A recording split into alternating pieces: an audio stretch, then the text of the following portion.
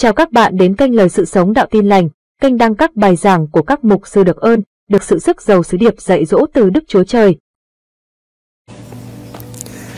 Hallelujah. Hallelujah.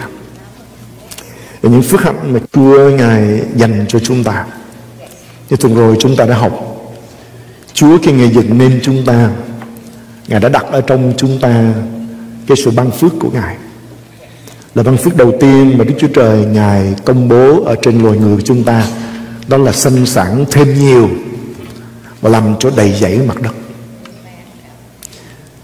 Không có nghĩa là mỗi người trong chúng ta có trách nhiệm là sẽ làm cho con cái của mình đầy trên mặt đất này. Nhưng mà Chúa Ngài muốn chúng ta bước đi ở trong sự ban phước của Chúa. Để đời sống của chúng ta cứ nở rộng. Và tôi tin nhiều hơn chỉ là con cái đó. Chúa muốn cái loại người mà Kinh Thánh gọi là những người kêu cầu danh Chúa, những người kính sợ Chúa, những người được ở trong một mối liên hệ mật thiết với Chúa ở trong vườn Eden đó, sẽ cứ tiếp tục được đầy ở trên mặt đất này. Nói đến trách nhiệm của hội thánh, chúng ta nhận phước của Chúa để chúng ta làm nguồn phước, chúng ta nhận để chúng ta cho ra chúng ta nhận nhiều hơn để chúng ta có thể được Chúa sử dụng chúng ta rộng rãi mạnh mẽ hơn. Chúa dựng nên chúng ta cho nhiều hơn là những gì chúng ta đang kinh nghiệm. Amen anh chị em? Khi chúng ta hiểu như vậy nó sẽ bật nắp. Chúng ta tự đẩy những cái nắp ở trên cuộc đời của chúng ta. Có một cái quy luật gọi là quy luật của nắp đẩy nếu chúng ta cho phép thì chúng ta sẽ ở dưới cái nắp đó trở xuống và nó giới hạn chúng ta trong sự suy nghĩ cũng như trong cách mà chúng ta thấy chính mình. Nhưng mà khi chúng ta hiểu rằng Chúa Ngài dựng nên chúng ta cho những điều lớn hơn, Rộng hơn, Cao hơn, Giàu có hơn, Mạnh mẽ trong quyền năng của Chúa hơn, Chúng ta sẽ thấy rằng Sẽ không còn có giới hạn cho chúng ta nữa. Chúa đưa chúng ta lên bao cao Chúng ta sẽ lên đó. Amen anh chị em. Chúng ta cần gỡ cái nắp ở trong cuộc đời của chúng ta. Ước ao của chúng tôi trong loạt bài này là giúp đỡ để anh chị em sẽ làm cái công việc mình tự gỡ đi những cái nắp đậy mà mình đã đậy trên cuộc đời của mình. Có thể chúng ta tự ti mặc cảm, chúng ta nói xấu về thiên mệnh của mình. Tôi không ra chi, tôi không làm được gì, tôi là người bất tài vô dụng em xem lời của Chúa nói khác hơn những điều chúng ta suy nghĩ. Chúa rằng chúng ta là những người được phước. Chúa rằng chúng ta có thể làm nguồn phước cho muôn người. Như lời của Chúa dạy chúng ta, Chúa Giêsu Ngài không chịu đau đớn, Nhọc nhằn như vậy, Chịu treo trên thập giá. Đổ máu huyết của Ngài ra. Trên đường lên thập giá, Ngài bị đánh đập Một cách rất là tàn nhẫn. Để rồi chúng ta vẫn sống ở trong cuộc sống Như những người Không có Chúa. Ngài chịu trở nên rửa xả thay thế cho chúng ta Vì lời của Chúa nói rằng Đáng rửa thay cho trẻ, Kẻ bị treo trên cây gỗ. Để chi? Để ân điển của Ngài có thể được rải rộng ra cho những người dân ngoại. Hầu cho họ cũng có thể bước vào để cùng hưởng phước lành mà Chúa đã công bố trên cuộc đời của tổ đức tin là Abraham. Phước lành đó, Chúa rằng từ nơi dòng dõi của Abraham sẽ là một dân tộc lớn. Chúa nghe hứa rằng Ngài sẽ ban phước ở trên đời sống của ông. Mà muôn họ ở trên thế gian này sẽ nhờ dòng dõi của ông mà được phước. Và Chúa hứa rằng Ngài sẽ ban ơn họ có một vùng đất rộng rãi để họ có thể sinh sống. Và Ngài ban ơn ở trên họ đến mức độ ai làm ơn cho họ sẽ được chính Chúa Ngài làm ơn. Ai rủa xả họ sẽ chính Chúa Ngài sẽ rủa xả người đó. Phước lành của Chúa dành cho đời sống của chúng ta ở trong công lao cứu chuộc của Đức Giêsu là lớn vô cùng. Và chúng tôi cậy ơn Chúa để chia sẻ với anh chị em những điều này để đánh thức anh chị em. Nếu trong những ngày qua hoàn cảnh uh, bắt chúng ta hay là nó đã đẩy chúng ta vào trong cái chỗ là chúng ta lấy cái nắp chúng ta đẩy trên cuộc đời của chúng ta. Vì chúng ta nghe, chúng ta kinh nghiệm một số điều trong đời sống của chúng ta. Chúng ta nói rằng đó chắc có lẽ là điều tốt nhất, cao nhất mà Chúa có thể làm cho đời sống của tôi rồi. Hay là Chúa dành cho tôi rồi. và chúng ta bắt đầu chúng ta đi lùi mà chúng ta đứng yên loạt bài này các lời cầu nguyện trong tối thứ ba bài huấn luyện dài dỗ trong tối thứ tư và đại hội của chúng ta năm nay. Nhằm mục đích để đưa chúng ta vào trong cái chỗ là chúng ta quyết tâm chúng ta quyết định mình sẽ vùng dậy. Amen anh chị em. Cảm ơn chúa. Cho nên ai đang nằm sát dáng đo dáng chuẩn bị lầm cơm ngồi dậy. Bởi vì khi chúng ta chịu trận chúng ta nằm đo dáng thì đức chúa trời không làm gì được cái lời của Chúa nói rằng hãy trỗi dậy từ giữa những người chết thì Đấng Christ sẽ chiếu sáng anh em. Amen Chúa. Chúng ta chấp nhận thân phận giống như những người không biết Chúa chung quanh chúng ta. Chúng ta nằm ở dưới đất thì ánh sáng của Chúa không thể chiếu trên chúng ta được. Nhưng khi chúng ta trỗi dậy Bắt đầu chúng ta trỗi dậy trên đầu gối của mình. Rồi chúng ta lấy hết sức mà Chúa nhà ban cho chúng ta Chúng ta đứng lên. Thì giống như ánh đèn pha quét ngang một cánh đồng. Nếu tất cả nó nằm ở dưới Của cái tầm quét Của cái ánh đèn pha đó, Thì chúng ta thấy rằng Nó vẫn ở trong bóng tối. Nhưng có cái gì đứng lên, Có ai đó đứng lên, Thì ánh đèn pha sẽ quét Và sẽ chiếu rọi trên cuộc đời đó. Amen anh chị em. Ánh sáng của Chúa đang đi qua, đi lại ở trên thế gian này. Ánh mắt của Đức Sơ Va đang nhìn khắp thế gian này Để tìm ai có lòng trọn thành với Ngài Để Ngài có thể yểm trợ và ban phước. Vì Đức Chúa Trời, Ngài có ý định dựng nên chúng ta cho nhiều hơn. Hôm nay chúng ta sẽ cùng học về ơn của Chúa. Giao ước là cửa mở vào ơn của Chúa vì thành công trong chức vụ trong đời sống dựa trên ơn của Chúa trong đời sống của chúng ta. Người đời khi họ thấy à, một mục sư giảng một bài giảng mà họ được nhận được những cái sự dạy dỗ họ mở tâm mở trí thì nói rằng ông mục sư đó ông giảng hay quá. Hay là một người hát một cái bài hát mà chúng ta thấy rằng diễn xuất một cách tuyệt vời diễn tả được một cách tuyệt vời. Chúng ta nói cái cô đó cái anh đó hát hay quá nhưng mà chúng ta trong Chúa thì chúng ta biết rằng không phải một sư giảng hay mà một sư giảng có ơn của Chúa. Không phải cái người đó mà hát hay, nhưng mà người đó hát có ơn của Chúa. Vì chúng ta biết tự chúng ta không có những điều này. Nó đến từ Chúa. Người được ơn của Chúa sẽ là người thành công bởi vì ơn của Chúa là điều kiện căn bản trong trường của sự thành công. Từ điển định nghĩa chữ ơn Chúa là sự sủng ái, Là điều cho, ban cho do lòng yêu mến và nhớ đến ai đó. Đó do tại sao Sư Đồ Phaolô nói ở trong câu Đinh Tô thứ nhất chương 15 câu số 10 Nhưng tôi nay là người thế nào Là nhờ ơn Đức Chúa Trời? Và ơn Ngài ban cho tôi cũng không phải là uổng vậy. Trái lại tôi đã làm nhiều việc hơn các người khác nhưng nào phải tôi, Bèn là ơn Đức Chúa Trời ở cùng tôi. Pha lô nhận biết một điều. Chúa ngày ban ơn. Ông viết hơn phần ba Kinh Thánh Tân Ước. Chúa sử dụng ông để bắt đầu một phong trào truyền giáo kéo dài cho đến ngày hôm nay. Chúa sử dụng cuộc đời của ông để đem tin lành của Chúa đến Tiểu Á, Rồi đến Âu Châu. Và chúng ta thấy rằng đạo của Chúa đã tràn ra.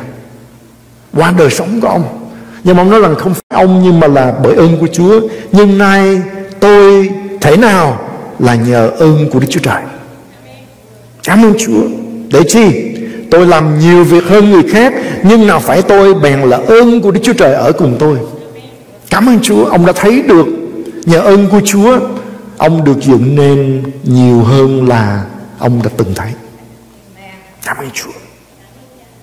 Phaolô nói, ông chính là sự biểu lộ của ơn của Chúa trên đời sống của ông. Và chúng ta có thể hiểu, ông nói rằng, những điều mà anh chị em nhìn thấy trong đời sống của tôi thì không phải là khả năng của riêng tôi, mà chính là ơn của Chúa hành động ở trên tôi.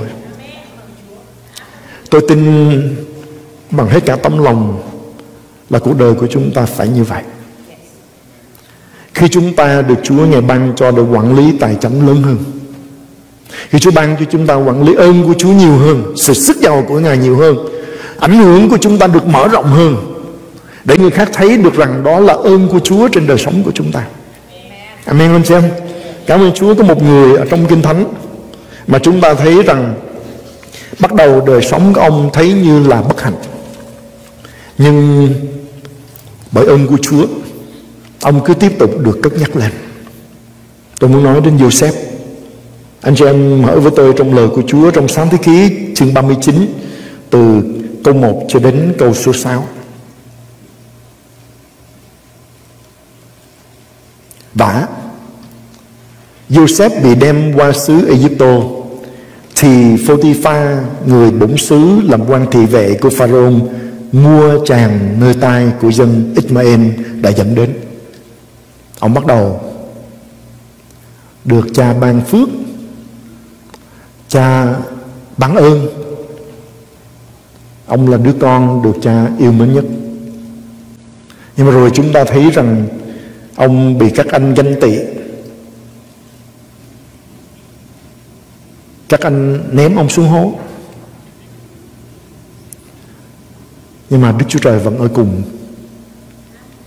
Vì cái vùng đó có hơn ba ngàn cái hố.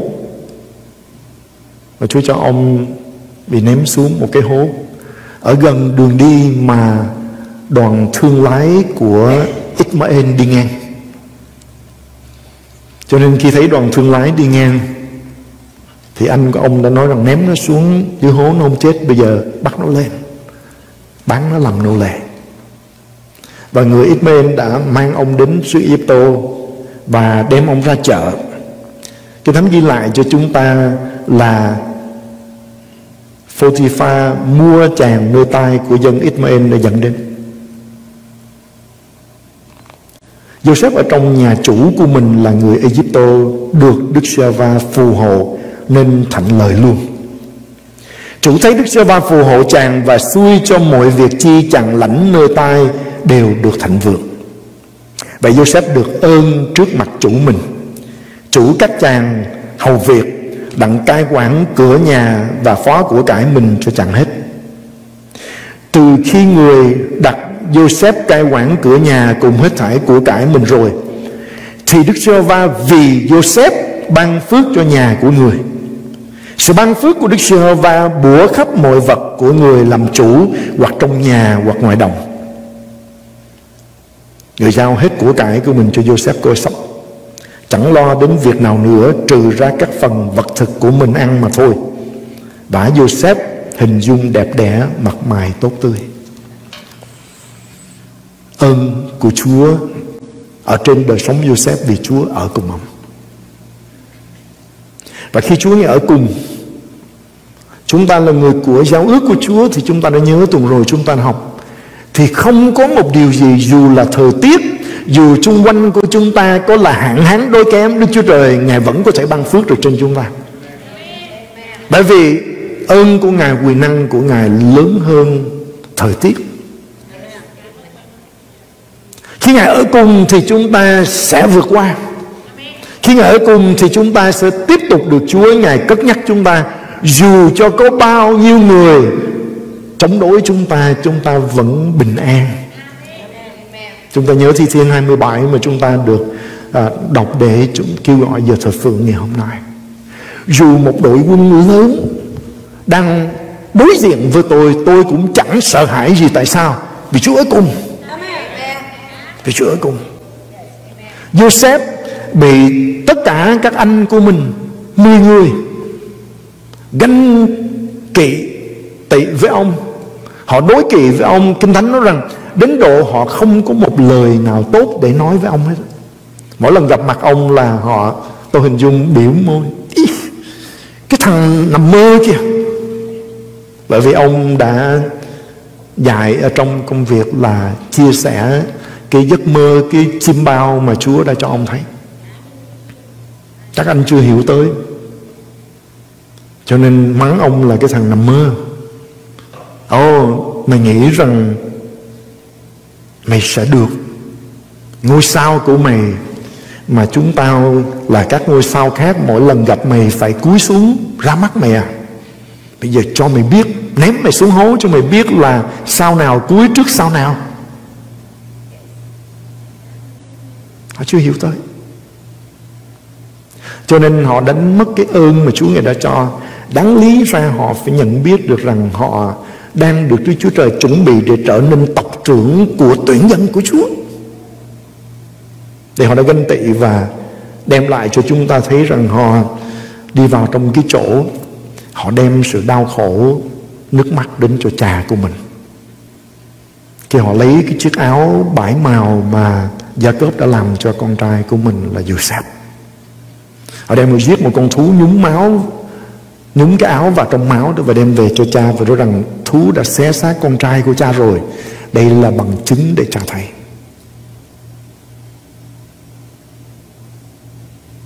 Khi ganh tị với Joseph, những người anh này trở nên những con người như là những người điên trong lúc đó. Họ không còn biết suy nghĩ nữa. Họ làm cho cha của họ đau khổ nhiều năm vì cái sự dối trá và những công việc gian ác của họ nhưng dù các anh mười người chống lại Joseph, vẫn không thể nào cự lại nổi ơn của Chúa trên đời sống ông. Thì Chúa ở cùng ông. Chúng ta đọc câu chuyện của cuộc đời của Joseph, chúng ta lại thấy thêm nhiều việc nữa. Phần Kinh Thánh mà chúng ta đọc ở tới đây kết thúc với Joseph là người đẹp trai. Cho nên bà chủ để ý đến chàng đẹp trai này Thánh ghi lại chúng ta ngày này sang ngày khác. Bà đến và bà cắm dỗ Joseph Đến để ăn nằm với bà. Mà Joseph là người kính sợ Chúa, Biết rằng Chúa ở cùng.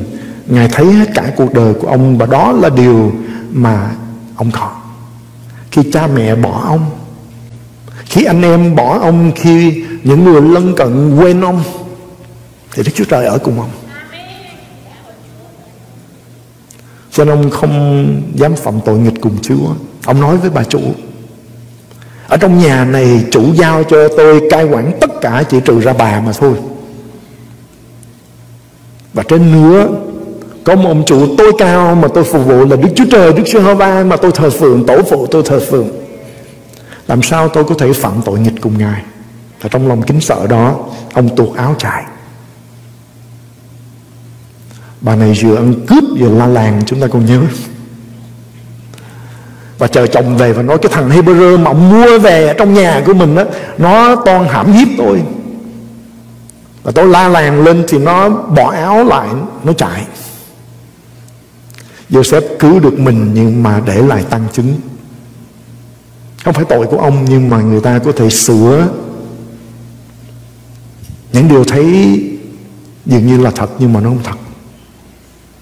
Sẵn đây tôi cũng mơ hoặc để anh chị em nhớ cái điều đó.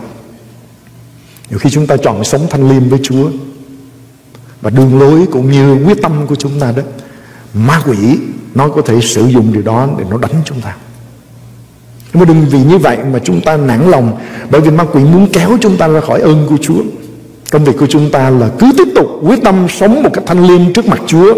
Chúa Ngài sẽ ban phước trên đời sống của chúng ta. Bầu khi Chúa Ngài ban ơn ở trên đời sống của chúng ta, Ngài làm ơn trên đời sống của chúng ta Thì không có một điều gì có thể chống lại chúng ta được. Khi chúng ta ở trong giao ước của Chúa, Tương lai và đời sống của chúng ta sẽ đầy màu sắc. Là cái nôi mang lại sự cao quý trong đời sống của chúng ta.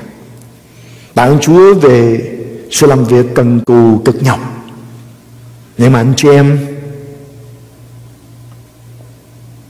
cực nhọc trong công việc không bằng ơn của Chúa.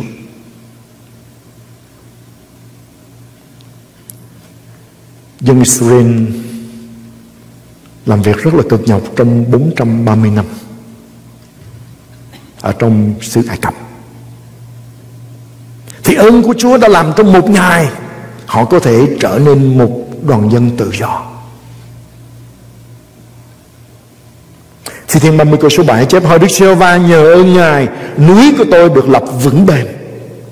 Ngài ẩn mặt đi, Tôi bèn bố sung Nhờ ơn Chúa, núi nó đã vững rồi, nhưng mà tại đây chúng ta thấy rằng nó còn hơn nữa, núi của tôi được lập vững bền. Nói đến một cái sự chắc chắn hơn là chắc chắn.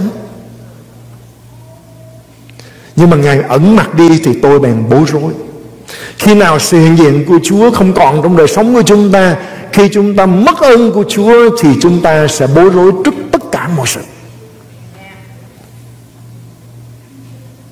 Điều làm cho chúng ta xuất chúng là ơn của Chúa Chứ không phải sức mạnh của chúng ta, anh chị em. Sự cao trọng thật do ơn Chúa mang đến. Nên để chúng ta có thể vui hưởng trong ơn của Chúa, Chúng ta cần phải nhớ rằng chúng ta không thể cố gắng làm việc để được ơn của Chúa, Mà là chúng ta được ơn của Chúa để chúng ta thể hiện đời sống của người được ơn Chúa cho mọi người thấy. Đó lý do mà chúng tôi kêu gọi anh chị em là chúng ta phải nhớ đến giao ước mà chúng ta có trong Chúa. Giao ước đó ký bởi huyết của Đức Chúa Giêsu. Và máu huyết của Ngài vẫn còn linh tiếng như huyết của Abel. Khi kẻ thù chung của chúng ta là ma quỷ đứng ở trước mặt Đức Chúa Trời để kiện cáo chúng ta trước tòa án của thiên đàng thì huyết của Đức Chúa Giêsu linh tiên. Khi chúng ta phạm tội Kẻ kiện cáo của chúng ta có thể đến với kiện cáo Đức Chúa Trời coi Khánh ở Hiếu Sinh đó thì huyết của Đức Chúa sẽ, sẽ linh tiên đúng nó tội lỗi nhưng mà thưa cha huyết của con đã rửa sạch tội lỗi của nó chúng ta lại được đưa vào trong vị trí công bình ở trong huyết của Đức Chúa Giêsu ngay tức khắc. Cho nên năng quay trở về khi chúng ta vấp ngã, đừng nằm đó anh chị em. Chúa ngày sẽ phục hồi chúng ta. Vì giao ước của Ngài ký với chúng ta là giao ước đời đời. Đáng tiếc là ngày hôm nay có nhiều con cái của Chúa lỡ vấp ngã một cái gì đó. Chúng ta nằm, mà chúng ta không chịu ngồi dậy. Hay là khi chúng ta phạm tội Đức Thánh Linh cáo trách mà chúng ta không ăn năn mà chúng ta cứ rướng tới thì chúng ta sẽ đi vào trong cái chỗ là chúng ta cứ ở trong chỗ kẻ kiện cáo của chúng ta sẽ kiện cáo chúng ta ngày và đêm trước mặt Chúa và Chúa không thể ban phước trên đời sống của chúng ta được. Con kính gửi mở, ăn năn quay về, Chúa sẽ ban phước trên đời sống của chúng ta. Ơn Chúa mang lại cho chúng ta những điều mà chúng ta không đáng để có được Nhưng là điều Chúa Ngài làm để chứng minh chúng ta được ơn trước mặt Ngài, Chúng ta là con cái của Chúa. Thí dụ chúng ta nhớ Joseph được ơn trước mặt cha của ông Ông là người con duy nhất được cha cho mặc chiếc áo nhiều màu sắc. Cảm ơn Chúa. Xin Chúa ban ơn cho hết thảy anh chị em và tôi, Để chúng ta sẽ là những người mặc áo nhiều màu sắc. Không phải là mặc áo màu nổi. Nhưng mà chiếc áo của ơn sủng của Chúa trên đời sống của chúng ta. Chúng ta đi đâu, Chúng ta bước vào trong một căn phòng, Chúng ta bước vào trong một hoàn cảnh, Người ta nhìn chúng ta, Người ta thấy được ơn của Chúa Và chúng ta đang mặc chiếc áo của ơn của Chúa Trong cuộc đời của chúng ta. Nếu người ta phải chọn tìm tìm tìm Ta nói, cái anh đó, Cái ông đó, Cái chị đó không phải bởi chúng ta, nhưng mà bởi ơn của Chúa đang vây quanh chúng ta như một cái thủng chè. Những người trong đời này, họ nhìn chúng ta, Họ phải nhìn xuyên qua ân điển của Chúa, Ơn của Ngài trên đời sống của chúng ta. Cảm ơn Chúa. Và cái ơn của Ngài đã chọn bài tỏ trong đời sống của chúng ta, Thì chúng ta thấy rằng Nó quá những điều chúng ta dám nghĩ tới.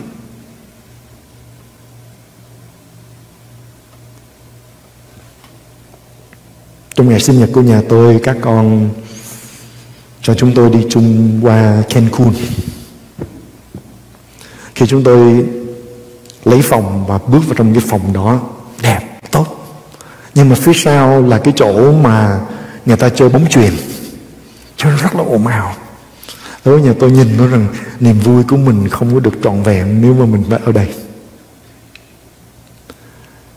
Ngay khi chúng tôi vừa nói câu đó thì điện thoại reo. Và Khánh An bắt điện thoại lên nói rằng bà chuẩn bị để mình dọn qua phòng khác. Tôi hỏi, dọn đi đâu? Tôi phải cứ chuẩn bị, vali, nếu có mở ra để vô trở lại. Rồi thì có người đến xách vali của chúng tôi đi trước và chúng tôi theo sau đi qua phía bên kia của khách sạn. Đi vào trong thang máy, bấm cửa. Đi lên tầng cao nhất. Mở cửa vào thì chúng tôi ngạc nhiên vô cùng. Và cho chúng tôi ở cái phòng tốt nhất của khách sạn đó. Nó là một cái suite mà chỗ đó, phòng cũng lớn, rộng và tất cả những cái gì mà cái khách sạn đó có thể phục vụ chúng tôi có thể hưởng được hết chúng tôi nghĩ rằng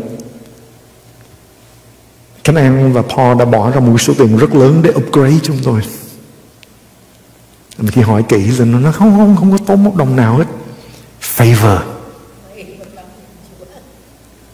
Favor. Ơn của Chúa ban cho đời sống của chúng ta là những điều chúng ta đáng lý không có được nhưng mà Chúa người định nghĩa bằng ơn. Cảm ơn Chúa chúng tôi được chuyển qua một cái phòng đắt giá ba lần hơn cái phòng mà chúng tôi đã được người ta đặt chọn mà không tốn đồng nào hết. Và nhiều điều nữa tôi có thể thuật lại cho em. Một trong những điều mà ở trong những ngày qua, khi chúng tôi dịch bài hát này và chúng tôi hát ở trong gia đình, và chúng tôi được giới thiệu tuần trước, và hôm nay tôi nhờ ban hát dẫn giúp để chúng ta hát nữa đó. Và xin Chúa cho để lời của bài hát và quyết tâm của người nhạc sĩ đã viết bài hát này cũng là quyết tâm của chúng ta. Từ sáng sớm chúng ta mới thức dậy cho đến lúc chúng ta, đêm khuya chúng ta nằm xuống ngủ. Giờ nào chúng ta còn thức, còn sống. Chúng ta ngợi khen Chúa vì Ngài là Đức Chúa Trời tốt lành của chúng ta cảm ơn Chúa. Amen, anh chị em. Cảm ơn Chúa. Tất cả những sự cất nhắc và phước hạnh trong đời sống của chúng ta là công việc của ơn của Chúa. Chúa Ngài nhấc chúng ta lên, Ngài ban ơn trên đời sống của chúng ta Và Ngài dẫn chúng ta đi từ phước hạnh này sang phước hạnh khác Vì ơn của Chúa trong đời sống của chúng ta. Amen Chúa.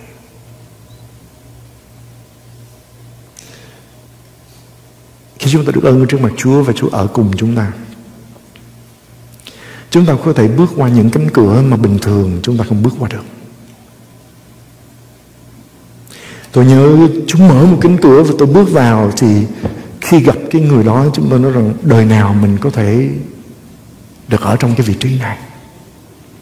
Được vào Bạch Cung để gặp Tổng thống của nước Mỹ này. Được vào dinh của thống đốc của tiểu bang để mình gặp thống đốc của tiểu bang Texas Thống đốc của tiểu bang Louisiana. Mình là ai? Không phải mình là ai Nhưng mà cha của mình là ai. Amen anh chị em. Cảm ơn Chúa. Sao hôm nay một sư em cũng có chia sẻ cái kinh nghiệm. Đó là một ngày kia được tôi báo cho biết là một sư em nên đi tham dự một cái à, buổi họp một cái hội nghị đi trễ hơn tôi, cho nên khi vào tới thì công việc đã bắt đầu.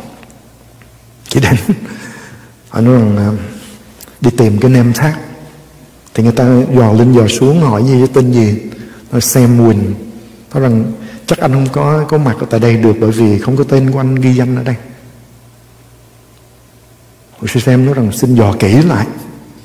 Họ nói, không có, không thấy. Rồi nhưng mà Ba của tôi. Nói rằng tôi đã được ghi danh đến đây. Hỏi ba của anh là ai? Nói một sư Khánh Quỳnh Một sư Quỳnh Quốc Khánh. Họ nói, ô! Họ coi kỹ là nó ô! Có tất cả và Họ đưa cho một sư xem cái nem thác Mở cửa đi thẳng vào. Vô đó mới ngạc nhiên là bởi vì họ rất là nghiêm ngặt. Cảnh sát, công an chìm đầy ở trong đó. Vì hôm đó có thống đốc của tiểu bang Texas ở trong buổi họp đó và gặp gỡ những quan chức cũng như là những người à, rất là chức cao ở trong chính phủ trong xã hội. Người sẽ xem nói rằng tên của tôi thì không bao giờ có thể đi vào ở trong cái chỗ được nhưng mà tên cha của tôi thì mở cho tôi cái cánh cửa để tôi có thể vào trong cái buổi họp hết sức là quan trọng như vậy. Cha thiên thượng của chúng ta cũng vậy anh chị em của những cánh cửa mà khi chúng ta nói đến danh của Ngài Giêsu người Nazareth cửa liền mở cho chúng ta. Khi chúng ta công bố chúng ta là con của vua đời đời, Chúa của vũ trụ này, cửa sẽ mở ra cho chúng ta. Vì chúng ta được ơn trước mặt Chúa. Cảm ơn Chúa. Chức vụ Đức Chúa Giêsu ở trên đất thành công bởi vì Ngài được ơn trước mặt Đức Chúa Trời, và cũng là điều mang lại ơn phước cho mọi người. Luca chương 2 câu 40 và 52 chép, Con trẻ lớn lên và mạnh mẽ Được đầy dẫy sự khôn ngoan và ơn của Đức Chúa Trời ngự trên Ngài. Câu 52 Đức Chúa Giêsu khôn ngoan càng thêm Thân hình càng lớn, Càng đẹp lòng Đức Chúa Trời và người ta. Cảm ơn Chúa. Mà dù vậy, ơn của Chúa là ân điển từ Chúa, anh chị em. Có cái giá phải trả. Và chúng ta phải trả những cái giá đó. Nó không phải là thứ rẻ tiền, Miễn phí, Nhưng mà nó có những cái điều kiện cặp theo. Cho nên câu hỏi mà chúng ta cần đặt ra là Làm sao để tôi được ơn của Chúa? Anh chị em có muốn biết không? Nghe nói ơn của Chúa cũng thấy ham đó. Nhưng mà làm sao để tôi có thể được ơn của Chúa? Tôi phải làm gì để mặc được chiếc áo của ơn của Chúa trong đời sống của tôi? Làm thế nào để tôi có thể kích thích ơn của Chúa trong đời sống của tôi? Tuần rồi chúng ta đã xây dựng Mọi sự cầm buộc đều phải vân phục trước sự hiểu biết. Dân của Chúa bị hư, mất. Là vì thiếu sự hiểu biết. Mà chúng ta là con cái của Chúa, Chúng ta cần biết chúng ta là ai. Chúa dựng nên chúng ta để làm gì. Cảm ơn Chúa. Mặc dù có những lúc chúng ta hiểu không tới. Chúng ta là con của Đức Chúa Trời hàng sống. Chúng ta là người nhà của Đức Chúa Trời. Chúng ta là tôi tớ của Đức Chúa Giêsu Christ. Ồ, tôi là một người thấp hèn. Không không không không. Khi chúng ta ở trong Đức Chúa Jesus Christ trong ân điển của Ngài, Thì chúng ta là đại sứ của nước trời. Xin thưa các ngài đại sứ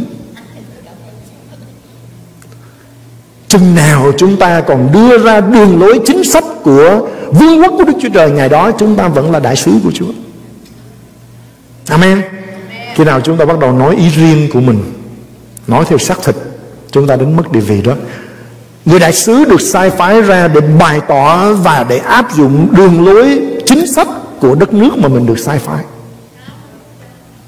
Cảm ơn Chúa. Cần hiểu, cần biết để bóng tối sẽ đùa đi. Cái nắp được dở ra. Cái gông mà chúng ta đeo trên cổ của mình được tháo xuống để chúng ta bùng dậy ở trong ơn của Chúa.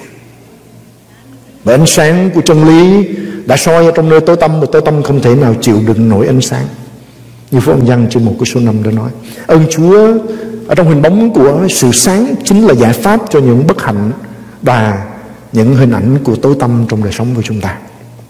Và khi Chúa Ngài đến ở trên chúng ta Thì mọi bất hạnh chung quanh đời sống của chúng ta phải đầu hàng Bởi vì ơn của Chúa. Kết quả là có khi chúng ta được ơn trước mặt Chúa Thì chúng ta không thể nào là nạn nhân của những bất hạnh được. Thì Chúa đã định Ngài ban ơn Thời tiết, chiến tranh, kinh tế Bất cứ những điều gì chúng ta gọi là những chuyện lớn Chúng ta không thể nào thay đổi được. Thì ơn của Chúa có thể đi xuyên qua tất cả những điều đó Để ban phước trên chúng ta. Tôi nhớ một ngày tôi bước vào Ở trong một cái bữa ăn. Thì à, tôi đi lên cái bàn đầu tiên ở trên. Người ta chạy người ta chặn tôi lại. Người ta nói ông đi đâu? Tôi nói tôi lên và ngồi cái bàn ăn đó nó không không không. Cái đó chỉ dành cho những người khách quý nhất mới được ngồi chỗ đó. Tôi nói dạ tôi nhận được là tôi ngồi bàn số 1 này. Người ta nói rằng anh có biết là nhà truyền giáo Ren Hoffman kia ngồi tại đó không? Tôi nói dạ phải. Tôi nói kiểm soát lại cái danh sách khách mời của quý vị đi. Họ nhìn rồi nói, ôi xin lỗi, xin lỗi tôi đi lên và tôi ngồi xuống cái chỗ đó với bao nhiêu ánh mắt họ nhìn họ nói, ông khánh, bữa nay ông làm gì mà ông đi lên tuốt ở trên cái chỗ đó? Ơn chúa. Bây giờ truyền giáo Rên Hợp bên kia đã đến giảng cho đại hội của chúng ta. Chúng tôi biết ông trong mức độ của cá nhân. Cảm ơn Chúa. Ơn của Chúa sẽ mở chúng ta những cánh cửa Đưa chúng ta vào trong những vị trí mà bình thường chúng ta không tới được. Amen anh chị Khi ông uh, truyền giảng ở tại Compass Center Chỗ nơi đội bóng uh, bóng bóng đá của Houston của chúng ta. Trước truyền giảng Có cái bữa ăn Và cái nơi mà Những người được mời đến đó. Tôi nhớ vợ chồng chúng tôi đi lên đó. Có một số những mục sư chúng tôi quen. Họ nhìn và nói Where you going? Tôi nói dạ lên trên kia. Họ nói, Ai cho anh lên trên đó? Và tôi chỉ cười, tôi nói rằng, Có trong danh sách đó. Rồi tôi đi thẳng vào trong chỗ đó. Vì ơn của Chúa. Chúng ta không làm được gì nhưng khi Chúa Ngài đã làm ơn, Thì chúng ta sẽ làm được tất cả. Như vậy ơn của Chúa là gì? Chúng ta cùng nhau quan sát những điều mà tôi xin tạm gọi là Bãi cái ống dẫn quyền năng Sẽ đẩy chúng ta vào trong ơn của Chúa. Thì chúng ta sẽ đi nhanh Qua các ống dẫn quyền năng này. Thứ nhất là sự cứu rỗi. Ở trong sự cứu chuộc của Chúa, chúng ta được ân điển là nền tảng và ân điển là ơn thiên thượng. Lời của Chúa dạy trong Ephesos chương 2 câu 7 cho đến câu số 9 Hầu cho về đời sau tỏ ra sự giàu có vô hạn của ân điển Ngài. Mà Ngài bởi lòng nhân từ đã dùng ra cho chúng ta trong Đức Chúa Giêsu Christ. Và ấy là nhờ ân điển bởi đức tin mà anh em được cứu. Điều đó không phải đến từ anh em, Bèn là sự ban cho của Đức Chúa Trời. Ấy chẳng phải bởi việc làm đâu hầu cho không ai khoe mình. Rõ ràng chúng ta thấy ơn của Chúa được bày tỏ.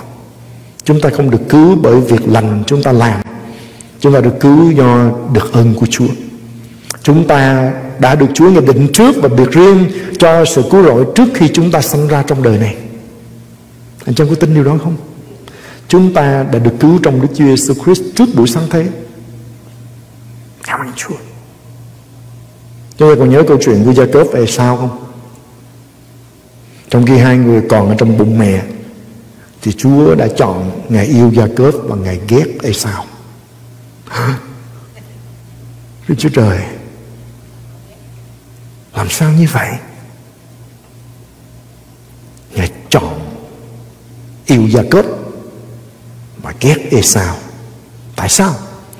Ngài không chọn lựa theo như Cái tính độc tài của một người. Nhưng mà Ngài chọn dựa trên sự biết trước, Biết tất cả của Ngài. Ngài biết rằng khi Esau sanh ra, Mặc dù ông sanh trước, Đứa em của mình sanh đôi, Trước chắc là chỉ một vài phút. Nhưng mà sau một ngày kia, Ông đã khinh lờn cái quyền trưởng nam của mình. Ông đi săn bắn ngoài đồng về. Thấy Gia Cớp đang ở nhà nấu một nồi canh thơm phức. Rồi quá ông chạy đến ông nói, Em bán cho anh một bát canh. Cho anh một bát canh. Và cướp nói rằng, Phải có cái gì qua lại chứ? Tại sao nó được Bán cho anh cái bát canh Bằng cái quyền trưởng nam? Em sẽ làm anh Cho anh bát canh. Đức Chúa Trời nhìn thấy điều đó. Ngài nhìn thấy cái đứa nhỏ này Khi nó lớn lên đó, Nó khinh cái quyền mà Chúa Ngài đã cho nó, cái đặc ân đó cho nên Kinh Thánh ghi lại cho chúng ta Ngài yêu Gia Cớp Và Ngài ghét Esau là như vậy. Anh chị em là những người nghe tôi.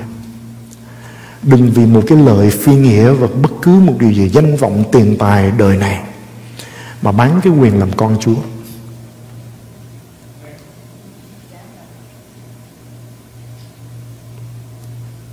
Khi chúng ta thủ đoạn. Khi chúng ta chọn những đường lối không đúng, để chúng ta chen chân vào để được cái gì đó, anh chị em mà chúng ta đã đánh mất hay là chúng ta chối chúa trước mặt mọi người thì đó là việc mà chúng ta bán cái quyền trưởng nam của mình. Vì đói bụng và thấy cái cái bát canh nó thơm quá. Ấy sao nghĩ trong lòng mình nói vậy chứ làm gì? Nó đâu có chui vào trong lòng mẹ được để sanh ra trước mình nữa đâu. Thì nói cho có nói thôi. Nhưng mà quên rằng có một Đức Chúa Trời thấy tất cả mọi sự. Nhiều khi chúng ta nghĩ không có một sư, không có hội thánh, không có tín đồ nào ở đây mà biết những chuyện này Mình cứ giải quyết cái vấn đề này đi. Nhưng quên rằng không có một sư đó, không có các anh chị em khác trong hội thánh Nhưng mà có Đức Chúa Trời đứng luôn ở đó Jehovah Ra. Ngài có mặt ở đó luôn luôn.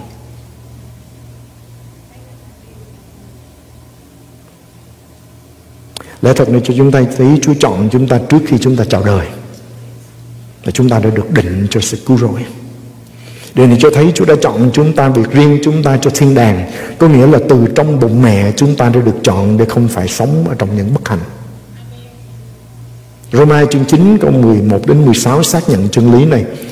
Vì khi hai con chưa sanh ra, Chưa làm điều chi lành hay dữ, Hầu cho được giữ vững ý chỉ của Đức Chúa Trời Là ý định sẵn bởi sự kén chọn tự do của Ngài. Chẳng cứ việc làm, Nhưng cứ đấng kêu gọi, Thì có lời phán cho mẹ của hai con rằng, Đứa lớn sẽ làm tôi cho đứa nhỏ, Như có chép rằng ta yêu Jacob và ghét Esau Vậy chúng ta sẽ nói làm sao? Có sự không công bình trong Đức Chúa Trời sao? Chẳng hề như vậy. Vì Ngài phán cùng môi xe rằng, Ta sẽ làm ơn cho kẻ ta làm ơn, Ta sẽ thương xót kẻ ta thương xót. Vậy điều đó chẳng phải bởi người nào ra Ước mơ hay là người nào buông ba mà được, Bèn là bởi Đức Chúa Trời thương xót. Ơn Chúa. Vấn đề của chúng ta tới đây là chúng ta phải có một tấm lòng xứng hiệp với ơn của Chúa. Không do công đức chúng ta làm nên mà được ơn của Chúa, Nhưng mà chúng ta phải trân quý những gì Chúa ngài ban cho chúng ta. Cho nên tôi muốn đánh thức anh chị em rằng Chúa dựng nên anh chị em cho những điều lớn hơn.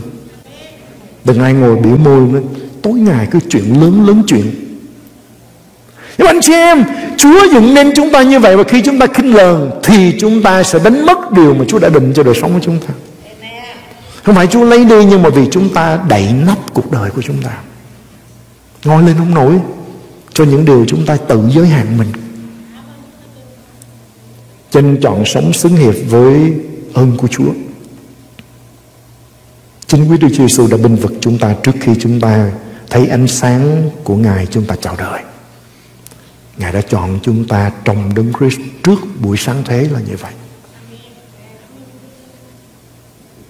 Như vậy sẽ có người hỏi, Như vậy tại sao chúng ta phải rao giảng tin lành của Chúa nhưng mà để họ tự nhiên họ chạy đây chạy đó đụng đây đụng đó bầm dập một chút rồi cuối cùng cũng sẽ được cứu không anh chị em Lý do chúng ta phải giảng tin lành của Chúa là bởi vì người ta không biết rằng họ đã được chọn trong Đấng Christ, họ đã được tha thứ, được cứu rỗi ở trong Đức Chúa Jesus Christ.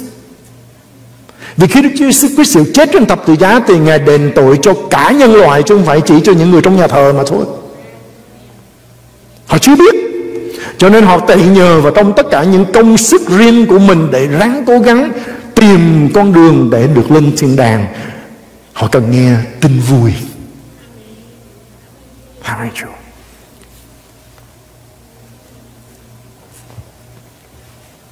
Thứ năm, chúng tôi à, đi ra sân sau, định tưới cây vì à, bầu mướp nó đang đang ra trái ra chúng tôi thấy ô sau cái sân của mình bữa nay nước ủng ướt sũng vậy?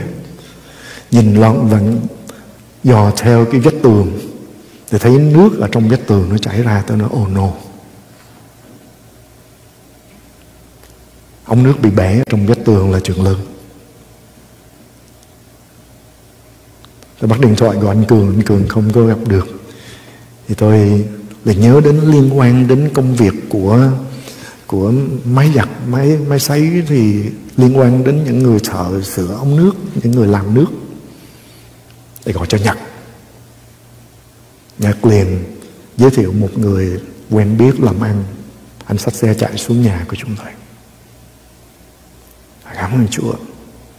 Đúng là nói, nghe nhạc nói tưởng đâu là ống nước nó bể ở ngoài đồng hồ của tôi chạy chạy xuống mà không có đem đồ nghề gì theo. Tôi nghĩ rằng chỉ khóa nước lại là yên cho một sự rồi. Đâu ngờ một sư chỉ trong vách tường. Cái này là phải xé vách tường ra. Oh no chuyện lớn. Và cảm ơn Chúa. Trước đó thì chúng tôi đã cúp nước để nó không có bị hư hỏng thêm. Ngài ngợi khen Chúa. Chúa Ngài ban phước. Anh nói bây giờ mình bắt đầu từ đâu? Chắc có lẽ xé vết tường đi từ từ Kiếm từ cái khóa nước ở trong tủ lạnh dần dần ra. Mà nếu tiếng không được nữa, Mình cứ tiếp tục mình phá vết tường thêm nữa. Tôi nói, nghe trong lòng mình nói rằng Cái này là nguy. Tôi cầu nguyện, tôi nói là Chúa xin Chúa Ngài chỉ cho chúng con ở trong ơn của Ngài. Cảm ơn Chúa. Tôi nói, anh đi vô, Chắc có lẽ là ông nước bị bể Vì à, hôm thứ hai Tôi cần phải tưới phân cho cho uh, sân cỏ mà cái cái ống dò nước nó không có cái chỗ để mà đặng được cái loại flexible hose thì uh, không thể làm được cho nên tôi mua một cái sợi dây tại Costco mà kéo cái sợi dây đó qua gần bên phía bên kia của cái sân cỏ thì nó không tới. Cho nên tôi ráng tôi kéo nó chắc có lẽ là tại như vậy mà ống nước nó bị gãy ở trong chăng? Vì nó lỏng, nó không có được nhét xi măng chặt. Và nó chắc như vậy. Bây giờ tôi khuyên anh là bây giờ mình nhắm ngay cái chỗ đó đó. Mở cái vết tường ra thì chắc là mình sẽ tìm thấy cái nguồn nó bị xì nước, nó bị chảy nước ở đâu. Bạn làm như vậy. Khi vừa mở cái tường ra thấy ngay cái tại chỗ đó, nói, thôi mình khỏi tìm nữa bây giờ đã tìm được rồi. Cảm ơn Chúa. Chúa ban phước ở trong ơn của Ngài và trong sự sắp đặt của Chúa. Anh nói, vậy chứ anh là gì của Nhật. Tao nói dạ tôi là mục sư của Nhật. Anh nói ô mục sư tôi hồi xưa, lúc mà ở trại tị nạn ở bên đảo, tôi có đi nhà thờ. Nhưng mà qua đây đó, thì tôi ờ, không có tìm được nhà thờ cho nên tôi trở lại tôi đi chùa. Nhưng mà lòng của tôi vẫn là thờ phượng Chúa. Cảm ơn Chúa. Tôi nói với các con, nếu cái ống nước mình bị bể và phải xé cái tường ra, mình có thể sửa chữa nó và mình dán cái vết tường lại nhưng mà nếu thêm được một người được nghe rằng họ đã được cứu trong Đức Chúa Jesus Christ thì cũng xứng đáng. Các con tôi nói Amen. Cảm ơn Chúa. Trước khi công việc kết thúc thì chúng tôi có dịp nhà tôi mua cho anh một cái cái dĩa cơm sườn. Anh nói cái chuyện này lạ đi làm chưa bao giờ có người chủ nhà mà mua cho mình cơm rồi làm một ly cà phê sữa sữa đá là để trên này. Anh nói chuyện. Tôi có việc tôi chia sẻ về tinh lành của Chúa cho anh. Anh nói ô bây giờ một sư nói em nhớ lại rồi. Em nhớ lại rồi những điều mà em đã nghe mấy mươi năm về trước. Cảm ơn Chúa. Cảm ơn Chúa. Họ cần nghe, họ cần được nhắc nhở Bởi vì người ta quên hay là người ta không biết. Chúa ban ơn trên đời sống của chúng ta Để chúng ta có thể giảng tin lành của Chúa cho họ là như vậy. Anh nghe một lúc. Anh la lớn lên nói Thôi một sư một sư cho em Đi làm trở lại. Để cho xong cái công việc. Cho em ngồi em nghe một sư nói em thích quá mà bỏ quên làm việc thì uh, chiều nay em về em bị kẹt xe nữa. Để anh ở tầng ở trên Highway 6 em nói một sư em sẽ đến nhà thờ. Một sư cho em cái địa chỉ của nhà thờ bởi vì những điều một sư chia sẻ, em thấy trong lòng của em nó làm sao đó, nó sung sướng, nó nóng, nó nó làm sao á. Chúng ta biết nó làm sao rồi hơn chứ em? Khi hai người môn đồ trên đường em út nhắc nhở với nhau, khi nãy ngài lấy kinh thánh mà cắt nghĩa cho chúng ta chúng ta không thấy cái lòng của mình nó nóng sao? Cảm ơn chúa. Cảm ơn chúa đó lý do tại sao chúng ta phải được ơn của Chúa để chúng ta có thể giảng tin lành của Chúa cho những người lân cận của chúng ta. Amen, anh chị em? Thật là ơn của Chúa đặc biệt riêng chúng ta trước khi chúng ta chào đời. Chúa cứu chúng ta để chúng ta đồn rao ân điển của Chúa cho những người lân cận của chúng ta. Chúa muốn hội thánh của Ngài chúng ta sẽ giảng ra sự khôn ngoan muôn mặt của Đức Chúa Trời. nhưng nếu chúng ta sống mà không có ơn của Chúa, làm sao chúng ta làm được công việc đó mình tự lo không nổi. Đời sống của mình thì nó bể rạc. Đừng để mình tiếp tục ở trong tình trạng đó. Vùng dậy cảm ơn của Chúa. Thứ nhất, nhận biết mình được Chúa ngày dựng nên nhiều hơn tất cả những gì mình đang kinh nghiệm. Cao hơn tất cả những gì mình đã đạt tới. Vì Chúa của chúng ta là Đức Chúa Trời vô hạn. Chúng ta biệt riêng để sống ở trong ơn của Chúa cho đến đời đời. Thứ hai, chúng ta bước vào được ơn của Chúa qua sự sức giàu. Sự sức giàu của Đức Thánh Linh là ống dẫn mạnh mẽ để mang lại ơn của Chúa. Đây là dầu thơm của Chúa khiến cho chúng ta sẽ có một mùi thơm đặc biệt. Cảm ơn Chúa. Có cái mùi thơm này chúng ta không cần sức dầu thơm. Và nó sẽ lan tỏa ra. Trên cuộc đời của Đức Chúa Giêsu chúng ta thấy được mô tả. Dầu thơm, mùi thơm được tỏa ra từ Ngài. Đó là sự sức giàu của Chúa. Thi Thiên 45 câu 7 câu 8 chép Chúa ưa sự công bình và ghét điều gian ác. Cho nên Đức Chúa Trời là Đức Chúa Trời của Chúa Đã sức giàu cho Chúa bằng dầu vui vẻ trỗi hơn đồng loại của Chúa. Các áo sống của Ngài bay mùi thơm mục dược trầm hương và nhục quế. Từ trong đình nhà có tiếng nhạc khí bằng dây làm vui vẻ Ngài. Mô tả Chúa Giêsu mà chúng ta còn nhớ cái bài thánh ca cung điện bằng ngà đó. Từ nơi Chúa, bởi sự sức giàu của Đức Thánh Linh mà chúng ta thấy cuộc đời thánh vụ Đức Chúa Giêsu trên đất này đó, Ngài đi đến đâu tỏa hương thơm đến đó. Áo sống của Ngài bay mùi thơm của mục dược Trầm hương và nhục quế. Cảm ơn Chúa. Và chúng ta là những người của Đấng Christ Những cơ đốc nhân, những Christian. Thì Chúa Ngài cũng định như vậy. Sự sức giàu của Ngài đến trên đời sống của chúng ta. Chúng ta đi đâu không có tỏa ra mùi hôi Nhưng mà tỏ ra mùi hương thơm của Đấng Christ trong cuộc đời của chúng ta nếu chúng ta không bước đi trong ơn của Chúa, Thì chúng ta đi đến đâu Chúng ta sẽ đem cái mùi tử khí đến đó. Nhưng mà khi chúng ta được ơn của Chúa, Chúng ta đi đâu, Hương thơm của Chúa sẽ bày tỏ ra từ đời sống của chúng ta. Tại sao? Vì ơn của Chúa trong đời sống của chúng ta. Và sự sức giàu thì luôn kết nối người được sức giàu với ơn của Chúa. Cảm ơn Chúa. Chúng ta chuẩn bị đón tiếp một trong các diễn giả ở trong kỳ đại hội của chúng ta. Chúa ban ơn và sức giàu trên ông. Từ lúc nhỏ đã được Chúa nghe cho có một cái ơn để có thể nghe được tiếng phán của Chúa. Cho những việc hết sức là lớn lao. Năm 2015 Chúa đã cho ông thấy và ông đã tuyên bố lời tiên tri này trong hội thánh của ông. Đó là sẽ có một con virus xuất hiện, nó lạ đến độ bác sĩ nhìn nhau và hỏi, con này là con gì? Và cái con virus này nó sẽ tấn công vào hệ hô hấp của con người. Và Chúa cho ông thấy rõ hơn nữa, đó là nó được cho tung ra từ nơi phòng thí nghiệm. 2015 Chúa cho ông thấy điều đó. Cảm ơn Chúa, Sự sức giàu của Chúa Hành động trong đời sống của ông Và bởi ơn của Ngài. Thì ông kể lại một ngày kia có người của một cơ quan chính phủ, Một nước rất là nổi tiếng, Cho người đến gặp ông ở tại khách sạn Và nói rằng, Thủ tướng của nước muốn gặp ông. Con hỏi. Tại Chúa con có cái gì để nói cho thủ tướng của nước này? Nhưng mà nhận biết ơn của Chúa Ở cùng đời sống của mình Cho đến giờ phút này vẫn chưa có gì. Rồi xe người ta đến, người ta rước đi. Ngồi trên xe vẫn chưa có gì. Nhưng biết ơn của Chúa ở cùng. Rồi người ta dắt đi vào Ở trong trước mặt Cái người thủ tướng của nước đó. Vẫn chưa có gì. Rồi lại Chúa Chúa nói cái gì cho con?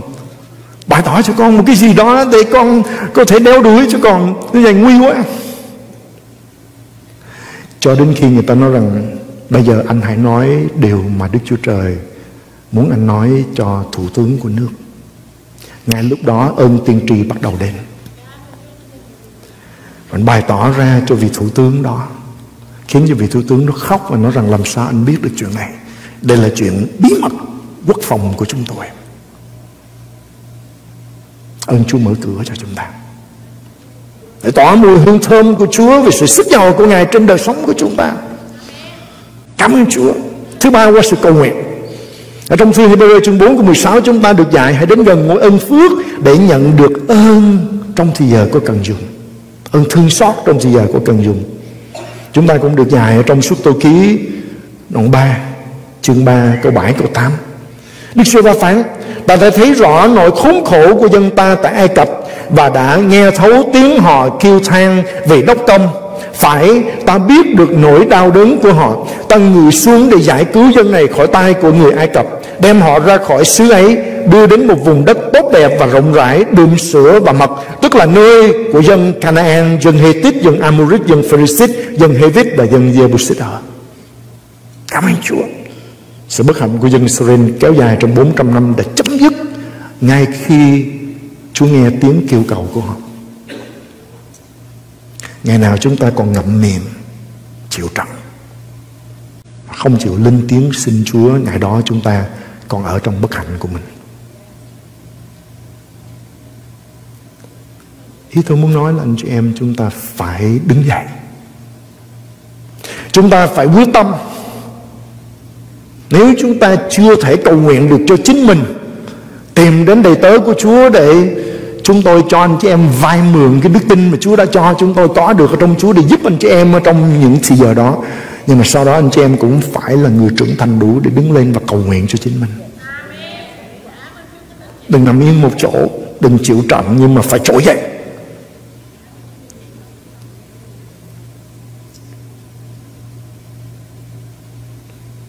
Chúa nói với ta nghe Ta nghe thấu tiếng của họ kêu than vì độc công. Chúa nghe đó. Sự bất hạnh của Israel kéo dài nhiều năm, cho đến khi họ chịu hết nổi. Xin Chúa cho để chúng ta đừng chờ cho đến hết nổi. Như tuần rồi chúng ta thấy được nhắc nhở, đừng chờ cho đến khi Ôi mình không có thể làm gì được hết Thôi cầu nguyện đi anh em. Đó là một điều mà tôi tin rằng lòng của Chúa Rất buồn khi Ngài nghe chúng ta đối xử với Chúa như vậy. Mình ráng mình quậy, Mình làm đủ mọi thứ hết mà nó không xong rồi đó. Thôi bây giờ cầu nguyện. Không, Chúa phải là đối tượng đầu tiên Gặp khó khăn, chúng ta nghĩ đến Chúa liền. Chúa có thể sử dụng người này, người kia, phương tiện này, phương tiện khác, nhưng Chúa chính là đấng giải cứu chúng ta, Chúa là đấng có quyền can thiệp vào trong đời sống của chúng ta.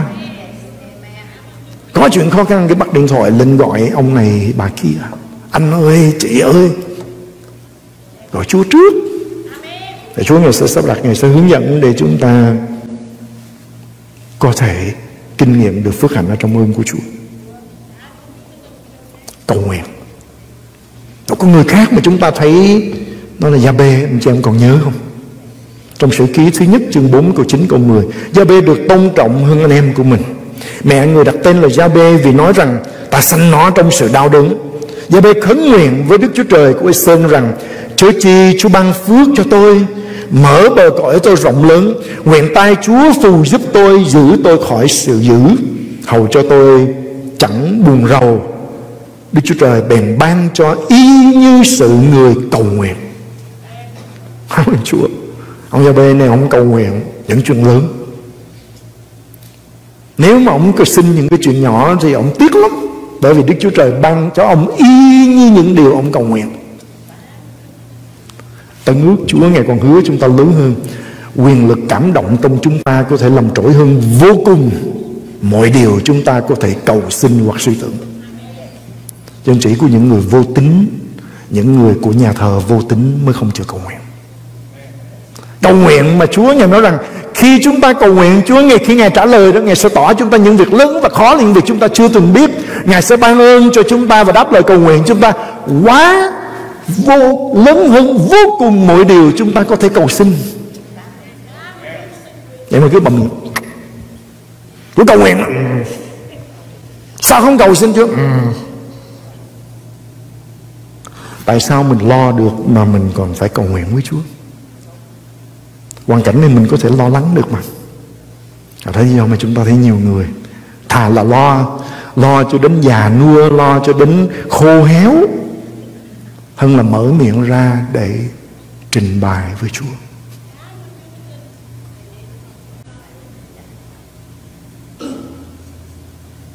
Cầu nguyện. Giờ bây giờ trong cái hoàn cảnh mà chúng ta thấy mặc dù ông được tôn trọng hơn anh em của mình, Nhưng mà có một cái gánh nặng nó cứ đè ở trên ông.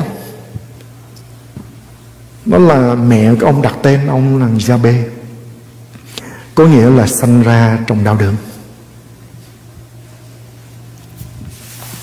Và điều này nó cứ làm cái gánh nặng ở trong đời sống của ông. Bởi vì, anh chị em, Thử hình dung mỗi ngày,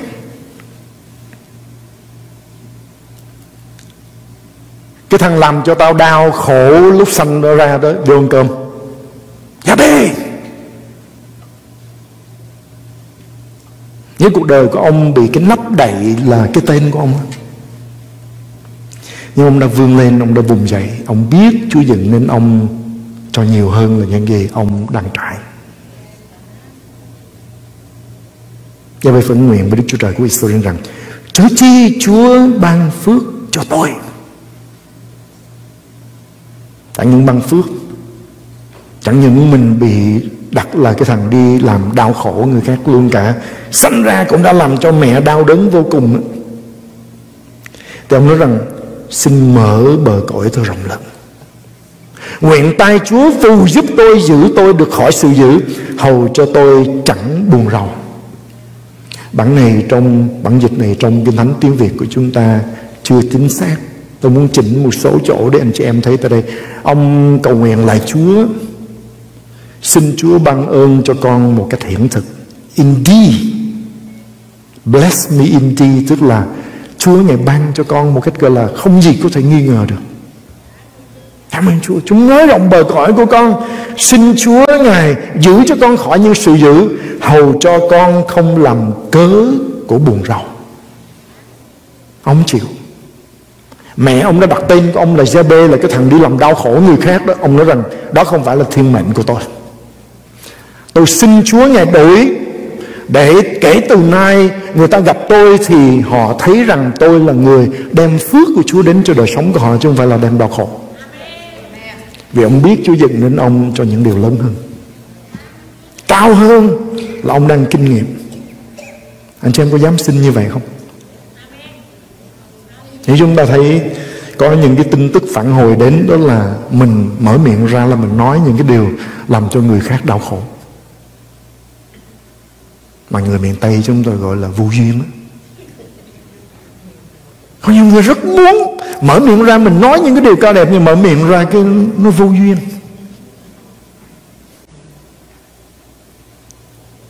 Giống như một anh Anh anh mở miệng ra anh là anh nói bậy. Anh đi đâu anh nói bậy Và anh, anh nói những cái chuyện rất là vô duyên. Một ngày kia thì Ta mời anh đến để à, Dự một cái đám tang.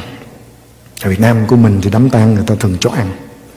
Bà vợ căn dặn là anh đi à, Anh nhớ là giữ miệng của mình. Đừng có nói bậy mà trúng chửi.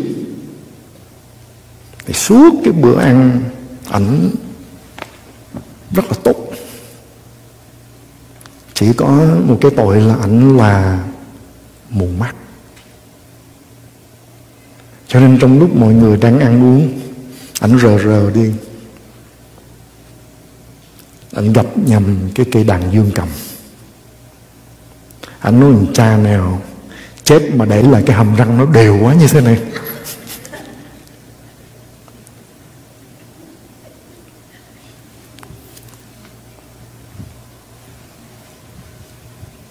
Xin Chúa cho để đời sống của chúng ta Lời nói của chúng ta, Mọi việc chúng ta. Bởi ơn của Chúa, chúng ta sẽ là người Đem phước hạnh của Chúa sang sẻ ra, giúp đỡ cho nhiều người trong đời sống hơn là chúng ta làm cớ buồn rầu. Và Chúa, Ngài nghe và Ngài đã làm đúng theo như điều mà Gia Bê đã cầu nguyện. Chúng ta có thể bẻ gãy tất cả các sự chống đối của ma quỷ bằng việc cầu nguyện trong đời sống của chúng ta. Thi Thiên 41 câu 11 chép, Nếu kẻ thù nghịch không thắng hơn tôi Nhờ đó tôi nhận biết Chúa đẹp lòng tôi. Esai 43 câu 26 Hãy nhắc lại cho ta nhớ, Chúng ta hãy bình luận cùng nhau, Hãy luận lẽ đi, Hầu cho ngươi được xưng công bình. Đây là Đức Chúa Trời nói với dân sự của Chúa. Chúa bảo, hãy nhắc cho Chúa nhớ. Chúa quên à? Không. Chúng ta nhắc Chúa về những lời hứa của Chúa. Và Chúa bảo chúng ta hãy đến, Hãy bình luận với Chúa. Chúa cho chúng ta đó, mở miệng ra, Chúng ta có thể trình bày duyên cớ của mình cho Chúa. Và Chúa cho phép là hãy luận lẽ đi. Hầu cho ngươi được xưng công bình. Dựa trên những lời Chúa hứa, Và chúng ta đến với Chúa, Và trong sự cầu nguyện Có những lúc chúng ta trình duyên cớ của mình trước mặt Chúa. Cho nên chúng ta hãy nhắc Chúa Về giao ước của Ngài với chúng ta. Có những lúc chúng tôi cầu nguyện ở trước mặt Chúa. Tôi nhắc Chúa. Chúa con là người của giao ước Chúa gọi Chúa chọn con trong chức vụ hầu việc Chúa. Và có những lời tiên tri của Chúa trên cuộc đời của con. Việc đang xảy ra nó không đúng như vậy. Nên là Chúa xin can thiệp vào. Vì nếu những điều chúng ta thấy ngay trước mắt Nó không phải là điều mà Chúa đã cho chúng thế Ta thấy trong khải tượng, trong chim bao qua lời của Chúa những lời tiên tri, chúng ta biết nó là những chuyện tạm trong lúc này. Rồi nó sẽ qua đi, vì Đức Chúa Trời, Ngài không bao giờ thất hứa. Lời của Ngài đã phán ra Sẽ không bao giờ trở về một cách lúng nhân Nhưng sẽ như mưa, như tuyết đụng nhìn đất và làm thành ý muốn của Ngài Khi Ngài sai phái nó. Amen anh chị em? Cảm ơn Chúa. Hãy cầu xin Chúa xác nhận phước hạnh và ơn của Ngài dành cho đời sống của chúng ta, sự sủng ái của Ngài dành cho đời sống của chúng ta. Chúng ta đi nhanh thứ tư, hãy dấn thân cho nước của Chúa. Khi chúng ta dấn thân cho sự mở mang của nước Chúa, như đã ghi ở trong Thi Thiên 35 câu số 27 thì chúng ta trở nên đối tượng của ơn của Chúa. Còn ai bình duyên cớ công bình của tôi, nguyện họ đều reo mừng, nguyện họ thường nói không ngớt, đáng tôn trọng Đức giê va thai là đấng vui cho tôi, tớ của Ngài được may mắn. Cảm ơn Chúa. Chúa rất vui khi chúng ta được may mắn. Amen. Cảm ơn Chúa. Song song với Thi Thiên 35 này, Thi Thiên 102 câu 13 14 lời của Chúa chép, Chúa sẽ trỗi dậy lấy lòng thương xót Siôn Này là kỳ làm ơn cho Siôn vì thì giờ định đã đến rồi, Các tôi tới Chúa yêu chuộng đá của Siôn Và có lòng thương xót bụi đất nó. Nói đến một tấm lòng của một người Khi chúng ta dấn thân cho nước của Chúa đó, Chúa Ngài ban phước. Thời điểm của ơn của Chúa đến trên tác giả Bởi vì ông dấn thân cho Siôn Đây là hình ảnh của hội chúng của Chúa, Hội thánh của Chúa. Ông yêu thương từng hòn đá của Siôn Cảm ơn Chúa. Ý của tác giả muốn nói là mỗi lần ông đến đền thờ đó Thì ông yêu thích từng hòn đá trong đền thờ của Chúa. Lòng của ông yêu mến Nơi mà Chúa chọn Để bày tỏ danh của Ngài. Cảm ơn Chúa. Xin Chúa cho chúng ta cũng giống như vậy. Yêu mến nhà Chúa những gì chúng ta có thể làm được cho hội thánh của Chúa, Cho nhà thờ, chúng ta làm bằng cách tốt nhất của chúng ta Vì chúng ta yêu từng viên gạch, Từng cái ghế ngồi trong nhà thờ này. Đừng làm như những người ở nhà của mình thì xài đồ tốt, Nhưng mà đem đến nhà thờ tặng cho hội thánh là đem đồ cũ.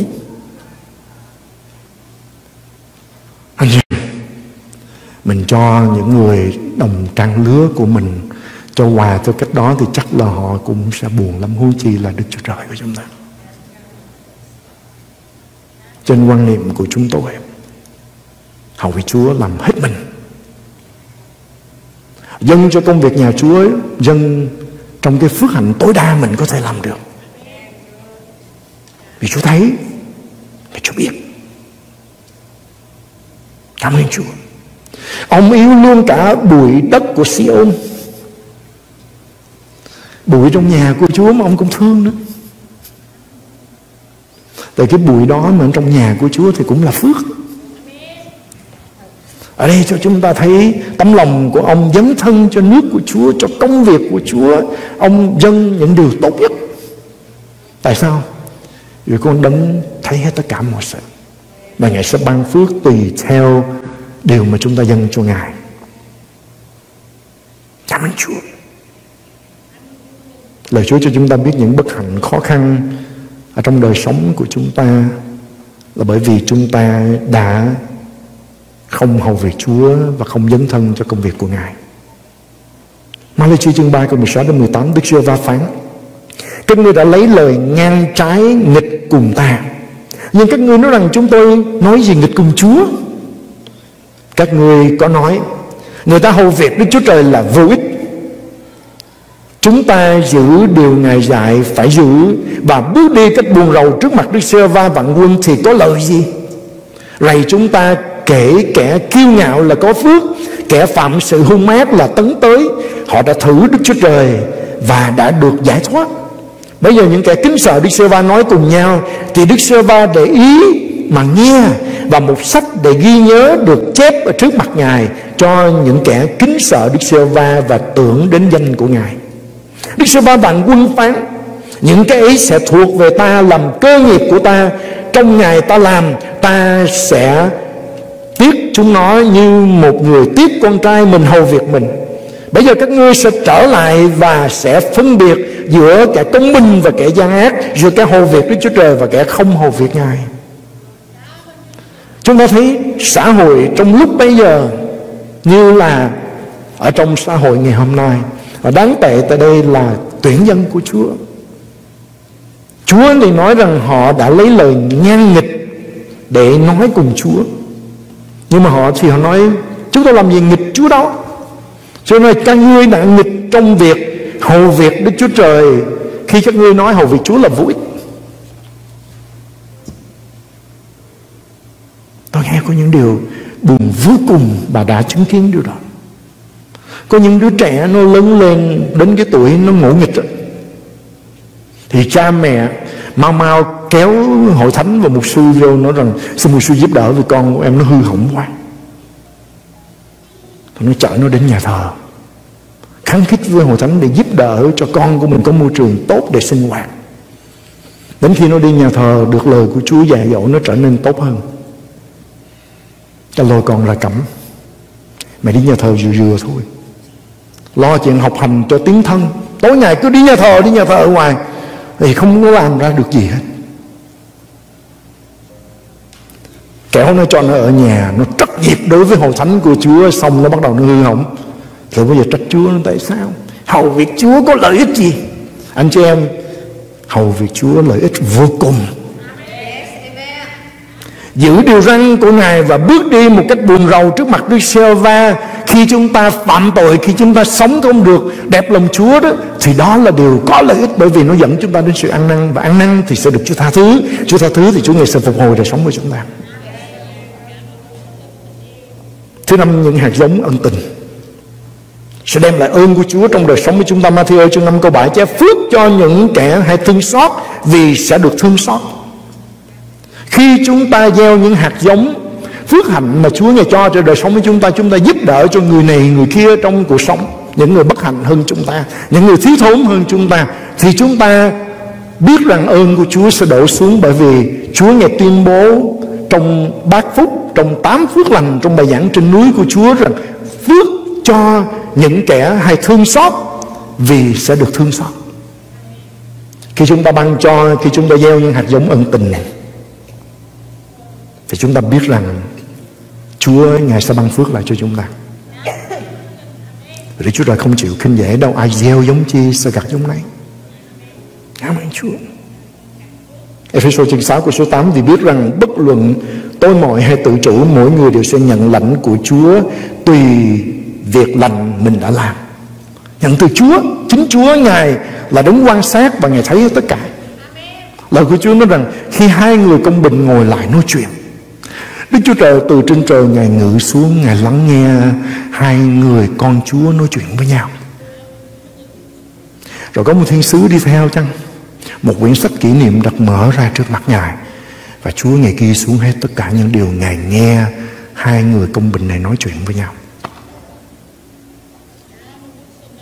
Có những điều trong đời sống.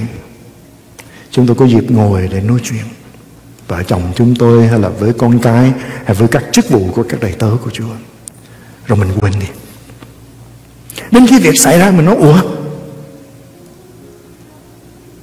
Mình đâu có xin những cái điều này Trong những ngày gần đây đâu mà nó xảy ra. Chúa gợi nhớ. Con có nhớ không? Lúc đó con ngồi thông công với một đầy tớ của Chúa, thông công với vợ con, với gia đình, với anh chị em trong hội thánh hai người công bình ngồi nói chuyện với nhau. Đức Chúa Trời bèn ngự xuống. Muốn được ơn của Chúa anh chị em cẩn thận cho những điều mình nói chuyện với nhau. Rù rì xù xì nói cái chuyện không tốt. Nhớ, Đức Chúa Trời Ngài ngự xuống và Ngài nghe câu chuyện của Chúa. Vì là con Chúa. Cho Ngài muốn lắng nghe những điều chúng ta nói để Ngài có thể ban phước trên đời sống của chúng ta. Và Ngài có một quyển sách kỷ niệm được mở ra ghi chép để trừ trường hợp chúng ta quên. Chúa Ngài vẫn làm bởi vì Ngài là đấng giữ những điều mà Ngài nghe miệng chúng ta nói. Lời nói của Chúa, lời nói của chúng ta cũng rất là quan trọng. Để mở ơn của Chúa chúng ta phải cẩn thận với những điều lời miệng chúng ta nói. Vì những gì ra từ miệng của chúng ta sẽ ảnh hưởng rất nhiều đến tương lai của chúng ta Nên tôi nhắc đi nhắc lại với anh chị em rất là nhiều lần, Đừng nói những lời vô ích. Đừng nói những lời chống lại với đức tin của chúng ta. Đừng nói những lời nghịch lại với những điều chúng ta cầu xin Chúa. Có những người đến nhà thờ, quỳ gối xuống khóc và lại, Chúa, xin Chúa ngày chữa lành cho con. Cảm nhận được trong lòng của mình Chúa chữa lành. Bước ra khỏi nhà thờ phải không cái bệnh này không có thuốc trị.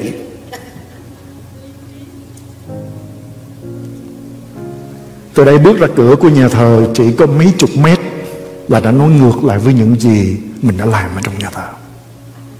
Cẩn thận với lời của chúng ta nói Vì Đức giê va Ngài tuyên bố rằng Ngài sẽ đãi chúng ta Tùy theo điều Ngài nghe miệng chúng ta nói.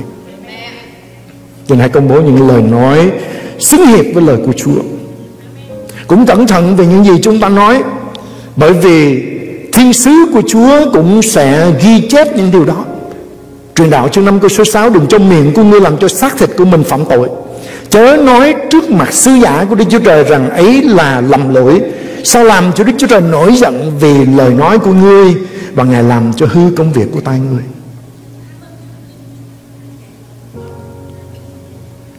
Chúa không bắt chúng ta có những lời hứa nguyện trước mặt Chúa. Nhưng khi chúng ta hứa nguyện, Giữ lời, Đừng ai sau một thời gian Thấy hứa dân cho Chúa, Thấy có bộ nhiều tiền quá, Mình xin lỗi Chúa. Còn lúc đó, Phấn khích quá, Nói hơn sức con có thể làm được. Đức Chúa Trời, Ngài sẽ phá công việc của chúng ta Khi chúng ta làm như vậy mà nếu chúng ta trong lúc chúng ta nói đó là tiếng nói của đức tin đó, Tiếp tục nhờ cậy Chúa Thì Đức Chúa Trời Ngài sẽ ban cho chúng ta Nhiều hơn những gì Ngài nghe miệng chúng ta nói. Cảm ơn Chúa. Tôi nghe một lời làm chứng Có một bà mục sư ở tại Việt Nam. Trong một buổi nhóm lại nghe Hệ phái cần có một cái trường kinh thánh. Và trong lúc cầu nguyện, Bà cảm nhận thấy Chúa Ngài đặt ở trong lòng của mình và bà tuyên bố rằng sẽ có người dân cho trường 100 ngàn Mỹ Kim ở tại Việt Nam nha anh chị em.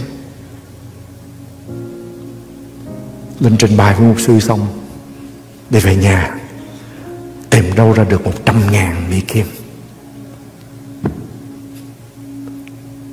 Nhưng mà vẫn giữ lòng mà cầu nguyện là Chúa xin Ngài tiếp trợ. Cảm ơn Chúa có người con gái ở tại Mỹ này làm giấy tờ thủ tục bảo lãnh và cuối cùng hai ông bà được qua Mỹ. Họ bán căn nhà thanh lý những cái việc cần thiết để đi Mỹ. Bán căn nhà của mình hơn 100 ngàn Mỹ Kim, Đem hết 100 ngàn Mỹ Kim đó dâng cho công việc của hậu Thánh của Chúa. Chúa ngài ban phước. Ban phước dữ dằn Là khen Chúa của chúng ta. Và cuối cùng, anh chị em, Lòng biết ơn. Lòng biết ơn sẽ mở cửa cho ơn của Chúa, là ống dẫn để mang chúng ta vào phước hạnh của Chúa. Hãy Đức Chúa Trời nguyện các dân ngợi khen Chúa, Nguyện muôn dân ca tụng Ngài. Đất đã sanh qua lợi của nó. Đức Chúa Trời là Đức Chúa Trời, chúng tôi sẽ ban phước cho chúng tôi. Thì chúng ta Hết lòng Tin cậy. Bước đi trong sự dẫn dắt của Chúa Ở trong quyền năng của Ngài Trong phước hạnh Chúa nghe ban cho Và chúng ta xin và Chúa nghe đáp lời. Thì chúng ta phải luôn bày tỏ lòng biết ơn. Vì chúng ta nhớ mình đã từng ở trong cái chỗ thiếu thốn nay Chúa nghe ban phước cho mình dư, dư dật. Mình nhớ đến những người thiếu thốn khác. Chúa ban cho mình có được cái sự nói rộng hơn về tài chánh để chi? Để mình có thể làm nguồn phước như chúng ta nào Chúa ngài ban ơn để chúng ta được ơn của Ngài, để chúng ta có thể giúp đỡ cho những người có nhu cầu. Đừng từ chối. Có những lúc anh chị em, chúng tôi phải nói rằng quá bận rộn đến độ không có thời giờ để ngủ nữa. Và khi người ta có nhu cầu và cần được giúp đỡ, chúng tôi sẵn sàng nhào vô để giúp đỡ liền, nhất là khi người ta có nhu cầu cần được sự chữa lành. Cảm ơn Chúa. Chúa ban phước tuần rồi chúng tôi giảng hai lễ tiếng Anh và tiếng Việt xong thì cũng đừ đó vì cũng đang dự phần kiến ăn với anh chị em nhưng mà có người có nhu cầu Anh Hải và chị Như đã đưa chị Lý đến được qua lời nhờ của tôi vì chị không có phương tiện để đến nhóm lại với chúng ta. Đưa chị Lý lên. Tôi hỏi chị có gì tôi có thể cầu nguyện cho chị. Chị nói rằng vai của chị rất là đau. Cảm ơn Chúa, chúng ta cầu nguyện. Hết lòng. Ngợi khen Chúa chữa lành cho chị tất cả. Chị nói rằng trước khi được cầu nguyện đó, Chị cầm đôi đũa để ăn không được Mà suốt tuần qua, Chúa cho chị Có thể sử dụng tay của mình một cách bình thường Và được chữa lành ở trong ơn của Chúa Cảm ơn Chúa Chị bày tỏ lòng biết ơn Chúa Bằng cách là giới thiệu cho những người mình quen biết. Và sáng hôm nay, Đưa hai người mình quen biết. Có một chị trước đây đã từng đi nhóm lại với chúng ta. Nhưng mà khi có một mục sư tách từ thì chúng ta đi đi qua cái chỗ đó thì bây giờ đời sống của chị, tôi nhìn không ra. Chị đến và nói rằng chúng ta cần được một sư giúp đỡ trong sự cầu nguyện. Cảm ơn Chúa lòng biết ơn của chị Lý đối với công việc của Chúa, với đôi chừng mở cửa để đem phước hạnh của Chúa đến cho nhiều người. Và lòng biết ơn của chúng ta với Chúa cũng sẽ tiếp tục mở ơn của Chúa trong đời sống của chúng ta. Vậy chị em, Nếu chúng ta giúp đỡ cho ai đó mà họ đã được sự giúp đỡ xong, họ không một lời cảm ơn, lần tới họ đến họ nhờ chúng ta, chắc chúng ta cũng suy nghĩ trở lại. Tôi không nói ý là chúa của chúng ta như vậy nhưng mà chúa rất muốn nghe tôi chúng ta cái lòng biết ơn. Càng tỏ, tỏ lòng biết ơn chúa chúng ta càng được ơn trước mặt ngài. Vì ơn của chúa không phải là chúa ngài ném một cách gọi là phí phạm nhưng mà ngài ban cho những người biết trân quý. Amen anh chị em. Mình xin Chúa ngài ban ơn Được nhắc nhở cuộc đời của chúng ta Được Chúa ngài dựng nên cho nhiều hơn. Ngài ban cho chúng ta những phước hạnh Để chúng ta có thể làm nguồn phước. Là con Chúa chúng ta đã bắt đầu bước vào trong phước hạnh. Cầu nguyện là cánh cửa để mở ra cho chúng ta nhiều phép lạ và phước hạnh khác nhau. Chúng ta phải bước đi qua những cánh cửa này, Sự sức giàu của Chúa, ơn của Ngài, Lời nói của chúng ta. Mọi việc chúng ta làm, Chúa Ngài sẽ gia ơn trên chúng ta. Và khả năng của ơn của Chúa cứ tiếp tục được mở rộng trong cuộc đời của chúng ta. Chúng ta đi đâu làm gì cũng sẽ được ơn của Chúa vây quanh chúng ta. Tôi nhân danh Đức Chúa Giêsu công bố bởi ơn của Ngài nhiều cánh cửa sẽ mở ra cho anh chị em trong những ngày sắp đến. Những cánh cửa mà trước đây anh chị em nói rằng nó đóng, tôi công bố trong danh Đức Chúa Jesus Christ mở ra trong thời giờ này bởi ơn của Chúa cho đời sống của anh chị em. Ngợi khen Chúa, chúc tụng Ngài. Xin ta cùng đứng lên mà chúng ta cầu nguyện. Còn chỗ nào lời của Chúa nhắc nhở chúng ta Chúng ta cần hoàn chỉnh hay hoàn chỉnh? Nếu chúng ta tự đẩy nắp Trong cuộc đời của chúng ta, Hãy gỡ nó xuống. Có rất nhiều câu kinh thánh Mà chúng tôi không có dịp để, Không có đủ thời giờ để mở ra cho anh chị em. Nhưng mà tụi chung lời của Chúa nhắc chúng ta. Hãy cởi trói chính mình. Hãy mở nắp. Nắp đậy trên cuộc đời của chúng ta. Thưa với Chúa rằng con cảm ơn Chúa vì con được dựng nên cho nhiều hơn là tình trạng hiện tại.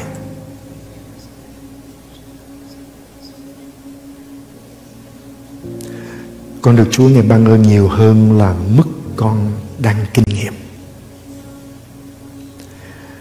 ranh giới của cuộc đời của con rộng hơn là những gì con đang thấy